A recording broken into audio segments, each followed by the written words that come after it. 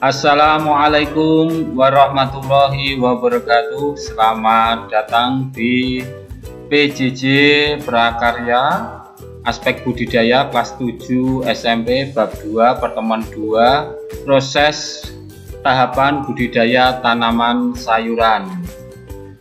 Kami ucapkan Salam sehat dan salam semangat di masa pandemi COVID-19 ini tetap pada protokol kesehatan.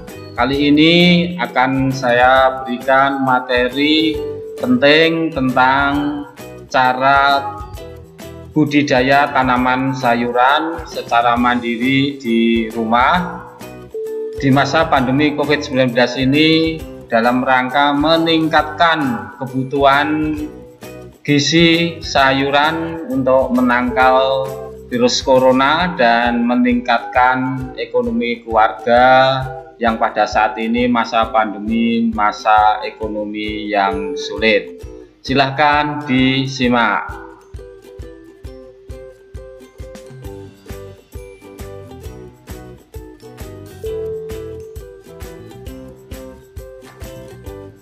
Anak-anak, untuk pembelajaran prakarya kali ini kompetensi dasar 3.2 memahami tahapan budidaya tanaman sayuran. 4.2 mempraktikkan tahapan budidaya tanaman sayuran.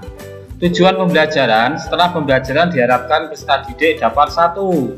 Setelah pembelajaran diharapkan siswa memahami pengertian tahapan budidaya tanaman sayuran yang kedua, mengidentifikasi alat dan bahan sebagai sarana produksi budidaya tanaman sayuran. Yang ketiga, setelah pembelajaran diharapkan peserta didik dapat membuat perencanaan tahapan budidaya tanaman sayuran yang terjadwal. Dan yang terakhir, diharapkan peserta didik dapat melakukan praktek budidaya tanaman sayuran di rumah secara mandiri. Kalian sebagai panduan pembelajaran kali ini silakan dibuka buku prakarya kelas 7 semester 1 halaman 143 contoh tahapan budidaya tanaman sayuran.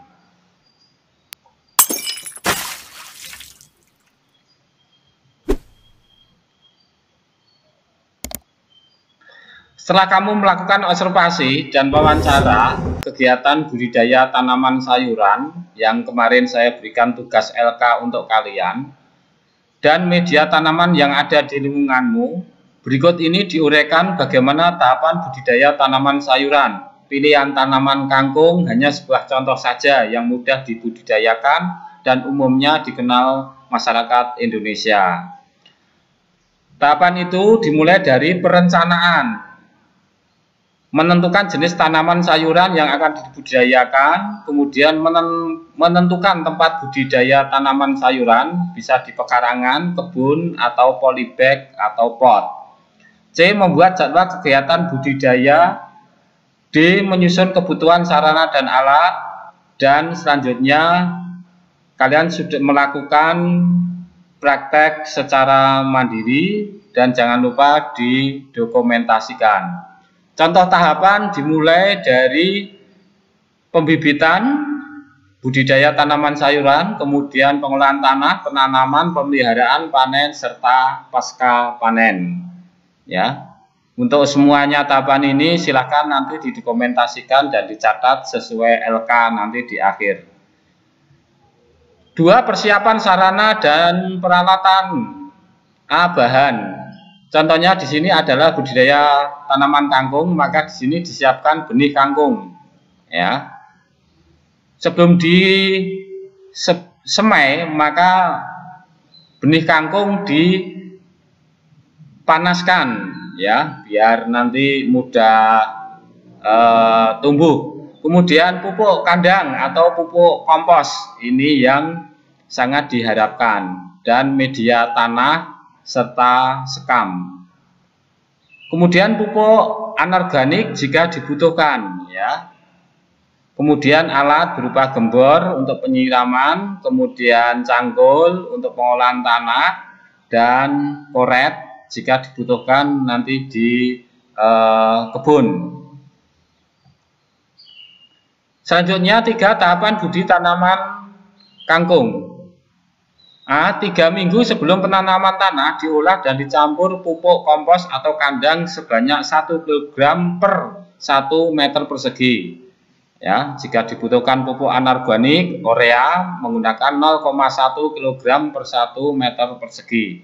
Ini untuk kebutuhan eh, tempat budidaya tanaman sayuran yang di kebun atau di tegalan. Jadi di tempat yang luas. B. Pembuatan biddingan dengan ukuran lebar 0,8 sampai 1,2 meter, panjang 3 sampai 5 meter, tinggi 15 sampai 20 cm dan jarak antar biddingan 50 cm. Ukuran tergantung pada lahan yang tersedia. Kemudian C. Biddingan yang siap ditanami, ya. Kemudian D. Penanaman benih kangkung Jarak lubang 20 kali 20 cm sedalam 5 cm. Setiap lubang ditanami 1 sampai 2 benih. Untuk kangkung dapat e, untuk kangkung darat sebaiknya ditanam sore hari. E benih kangkung yang sudah tumbuh. 3. Tahapan budi tanaman sayuran yang masih harus kita lakukan. Selanjutnya adalah F pertumbuhan tanaman kangkung ya, sudah kelihatan uh, tumbuh bahasa Jawanya nerucuk ya. Kemudian G pemeliharaan penyiraman dilakukan secara teratur dua kali sehari terutama saat kemarau pagi dan sore. Kalau musim penghujan seperti ini ketika hari tidak hujan perlu disiram pagi atau sore. B. Penyiangan setiap dua minggu ya. Ini kalau ada rumput gulma ya dibuang. Kemudian pembumbunan dua minggu setelah tanam ya. Ini pemberian eh, tanah ya yang akarnya kelihatan. Pemupukan dilakukan 14 hari setelah tanaman jika dibutuhkan dengan pupuk anorganik. Kemudian pengendalian OPT dilakukan sesuai dengan serangan yang terjadi. Hama yang biasa menyerang tanaman adalah kangkung, antara lain belalang dan ulat (OPT). Ya.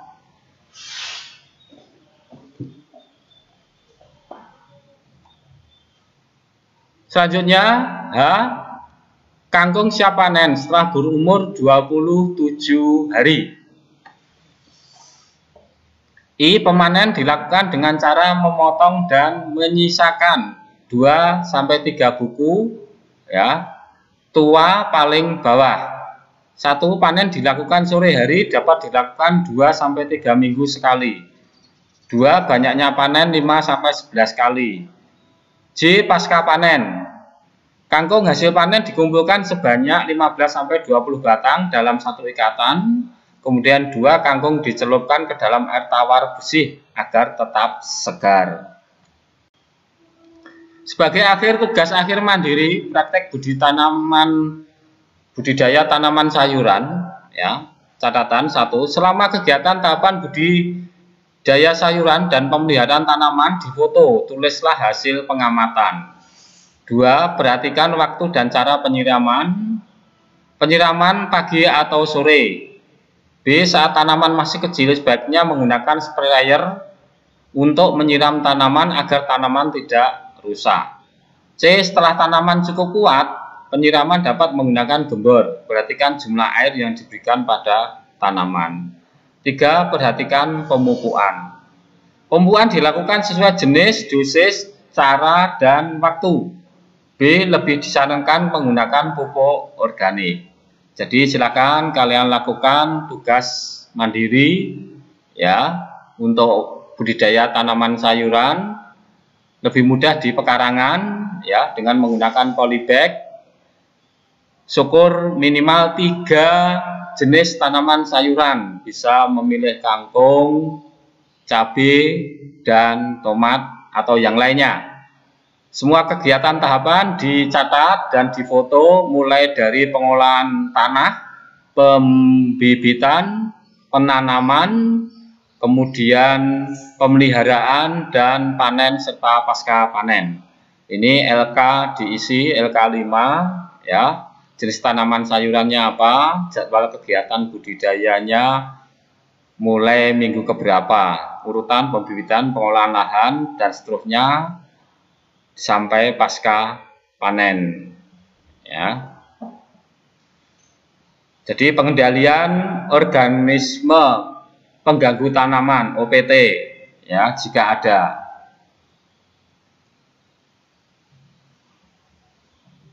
Untuk selanjutnya anak-anak perhatikan lakukan pengamatan dengan seksama.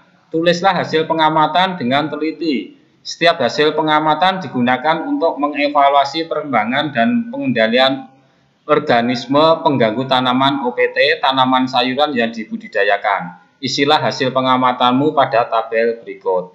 Pengamatan dilakukan secara mandiri. Lembar kerja 6, LK6, jenis tanaman, tempat menanam, tanggal tanam. Ya, mulai hari ketiga sampai hari ke-50. Lembar kerja LK7 ini untuk laporan praktek budi tanaman sayuran. Jadi anak-anak nanti dikumpulkan eh, ada dua tiga ya tiga LK yaitu LK 5, LK 6 serta LK 7 untuk laporan praktek budidaya tanaman sayuran. Ini butuh waktu maka kalian segera lakukan ya untuk melakukan budidaya tanaman sayuran minimal tiga jenis tanaman sayuran di pekarangan dengan menggunakan polybag ya. Jadi nanti tugasnya bisa dikumpulkan di akhir semester.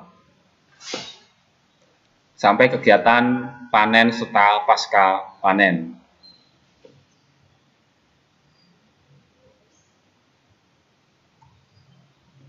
Demikian yang bisa saya sampaikan untuk PJJ Prakarya kelas 7 aspek budidaya bab 2 pertemuan yang kedua proses tahapan budidaya tanaman sayuran secara mandiri di rumah. Terima kasih atas perhatiannya. Semoga dipahamkan dan bermanfaat bagi kita semua. Sekali lagi, silahkan segera lakukan budidaya tanaman sayuran warung hidup di pekarangan kalian. Bisa di tanah langsung atau menggunakan media polybag atau pot memanfaatkan barang bekas yang uh, sampah anorganik yang ada di rumahku. Selamat berkaya, semoga bermanfaat ya bagi ekonomi keluarga dan kebutuhan sayur keluarga kalian. Kurang lebihnya mohon dimaafkan. Cukup sekian. Wassalamualaikum warahmatullahi wabarakatuh.